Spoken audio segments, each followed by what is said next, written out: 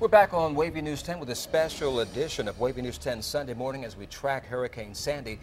We're continuing with our team coverage this morning. Our Liz Palka is in Norfolk in the Hague area with a better look at the tidal flooding there. I just want to give you an idea of what we're already seeing out here by the Hague in Norfolk. The water already overflowing onto the streets. In fact, in some areas, if I walk right back here, the water is almost a foot deep right now. And then looking out behind me, if you can see this over here, the Hague I can't even tell where it begins and ends and where the sidewalk begins and ends. The sewers are already getting clogged up. Same goes for the drains, and the drains that are not clogged at this point are working very hard.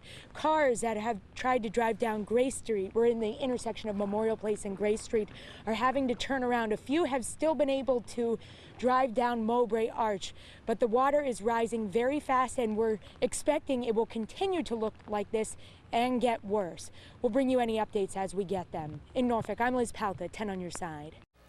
Thank you, Liz. In one local area,